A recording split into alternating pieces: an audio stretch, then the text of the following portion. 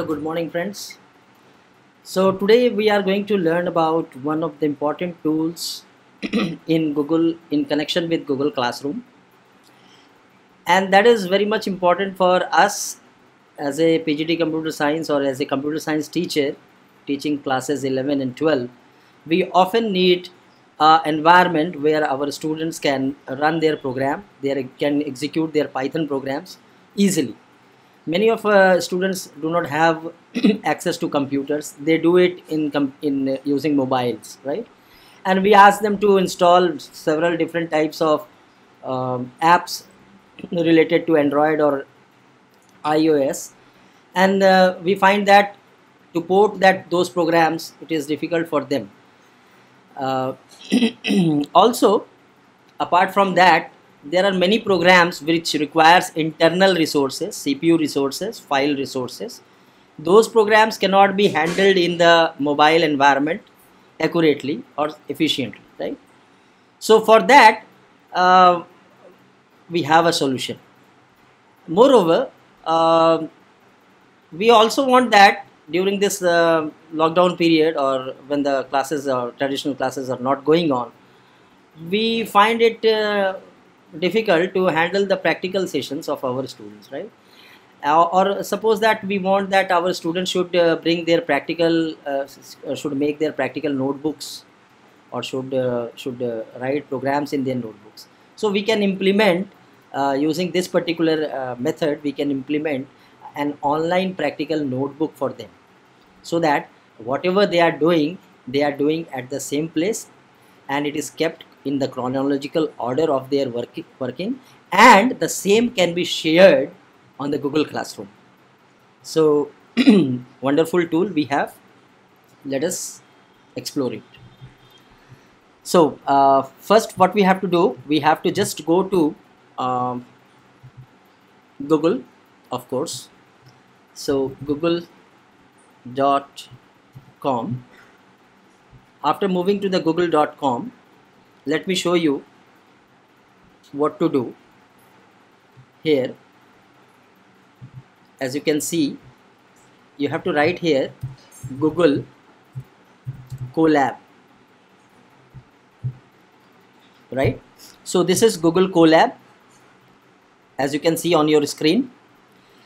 Now as soon as you open this Colab if you are logged in into your account Google account and this is all browser based I'm not using any software any app. This is all browser based so when you are going to that browser part and if you are logged in into your Google account it will directly open up with this dialog which is saying you to create a notebook. It is just like IPython type notebook we have we have the, that particular type of solution here right? So you just can create a notebook on a go. Say for example I'm going to create a new notebook. So I'm going to name my notebook as um, my my classwork class practical file. So your students can just name it anyway practical file. Or they can directly name it as practical file okay? And then create just click on one notebook. They will create they will only create one notebook that is practical file. And then just click on new notebook.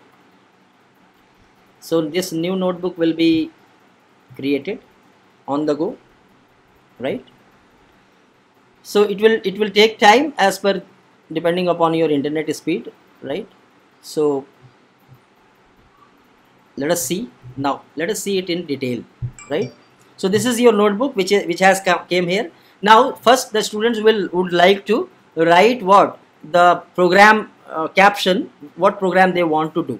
So for example if you want to write caption add caption then what they can do you can just see here there is one uh, two buttons are there plus code and plus text. So click on this plus text and you can type that text. Program one.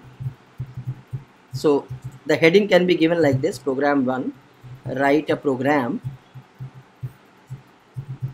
in python to print a line chart using plot to represent two axis data right? Suppose this has to be done. Now they can bold it italics it. Likewise they can just edit anything. So here you can they can just make it bold. They can just change the size of the thing. Okay like that and they can add also some text some links. They can add uh, images also. So this is just for captioning your code. So it, the caption is okay. Now click on plus code. Now to add code under this caption just click on this code.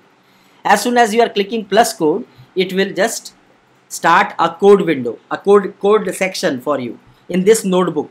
The notebook is untitled. As you can see over there it is saying untitled 0 you can just change the name for this notebook notebook as practical file right? Practical file. So every student of us can just write his practical file save it in uh, in in his or her google drive. This particular uh, file is being saved in the google drive itself. So just write the name of the as practical file. Now they will write the code here. So I will just uh, give a sample code and uh, let you see how the output is going to appear so let me write the code uh, code to print line chart. Okay?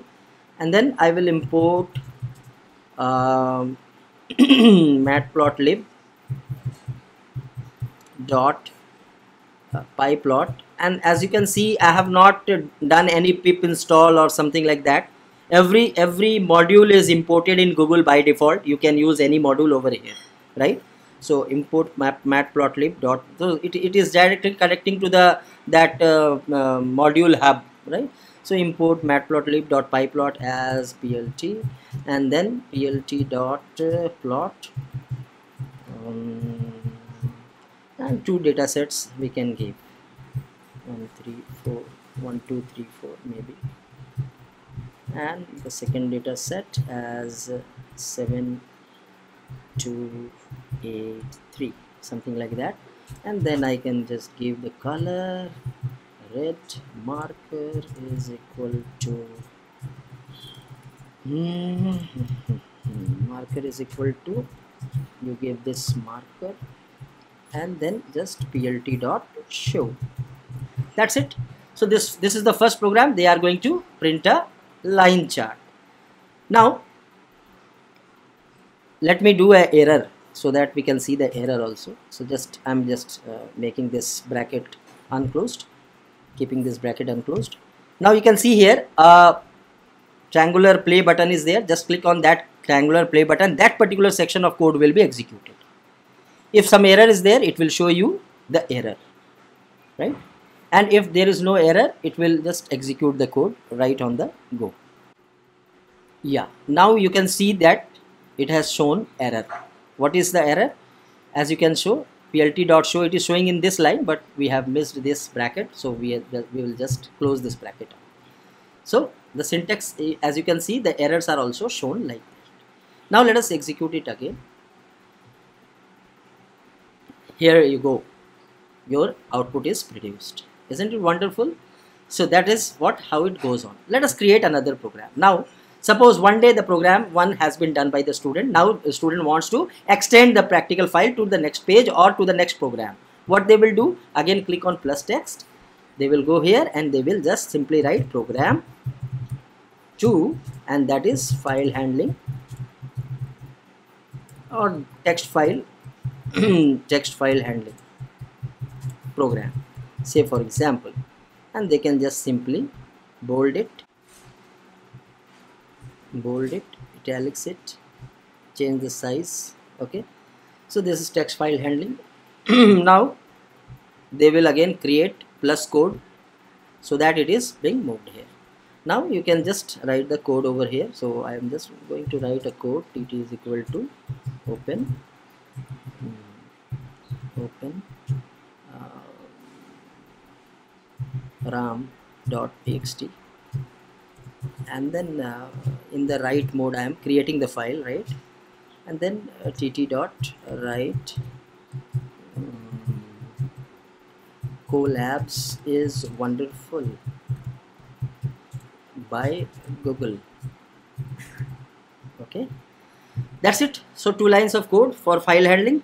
And let me show you the code again. So I'm going to execute the code. What to do? Just go to the left side play button click it and it will be executed. Now it is executed and it is showing the code execution code number 29 that means successfully executed. Now what will what would have happened uh, in this uh, in this uh, particular sort of code? Uh, it would have created one file right? Where it is? Now let us find out where it is. Uh, yeah you have rightly guessed. It will be in the in the google drive right? So it will be placed in the google drive of the student particular student or the particular account. Now we can easily roam that file also. We can see the file. Where it is now in the on the left side you can see that there are three icons. Uh, there is one icon for directory in the left side. As here you can see just where my mouse is placed. Mouse cursor is there. Uh, just click on that directory. You can find out. Now you can see sample data. In this notebook you have one directory called sample data. Inside that we have ram.txt a resource file ram.txt is, is is being created now click on that ram.txt to, see the content of ram.txt click on it. Just click on ram.txt it will show you the content of that particular file. Now you can see here ram.txt as you can see on the right side on the right side it will show you the content of ram.txt colabs is wonderful by google. So colab is wonderful by google. This is there in the text file right? You can close this close out this text file so that it is good. So wonderful uh, tool we have now this will be directly linked to this will be directly linked to the classroom google classroom. How to do that? Just uh, there is a share option. You can see here there is a share option. Click on the share option. And this can be shared with anybody with your google classroom or with uh, any anything else right? So you can just uh, write the name of that particular thing and you can just share it with anybody right? Okay. So this uh, is a tool for uh, creating practical file python file. And the most uh, important part wonderful part rather is that we can create this uh, on the go with a browser with a simple browser. We don't need to install any app and it can be done it can be used on mobile platforms too. Thank you